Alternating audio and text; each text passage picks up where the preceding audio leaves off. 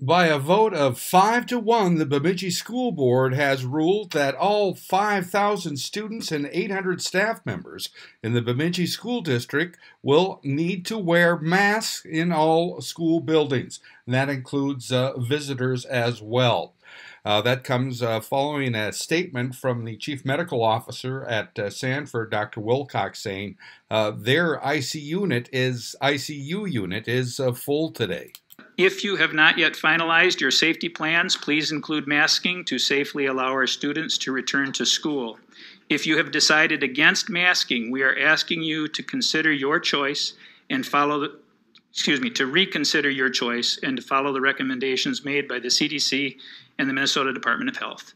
Uh, this comes from me as the Chief Medical Officer of Sanford Health from the vice president of our clinics, another clinician, uh, Dr. Swank, who's a pediatrician, uh, and from Sanford leadership uh, as a whole. Now, before their vote, uh, school board members said uh, they received a lot of input from uh, parents uh, regarding masking. They said it, said it was split about 50 50, half for it and half against it.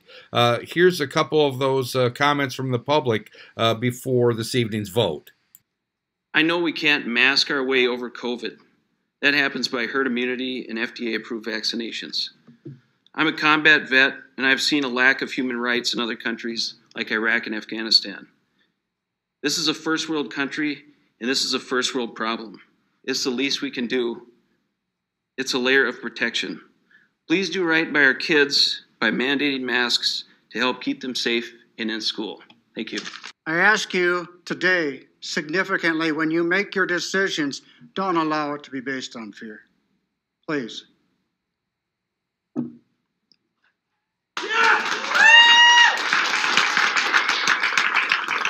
The truth is, the truth is, unless one of you here today have been a hermit for the last 20 months, you have been exposed to the virus.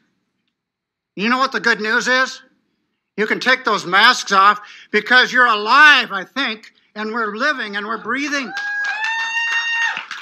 With that, the uh, board passed a resolution that students, staff, and visitors must all mask up, at least for now, in any uh, school district building. So, um, once again, this is a resolution, and this is um, managed by Carol Peterson and um, she will ask each individual to vote on that resolution,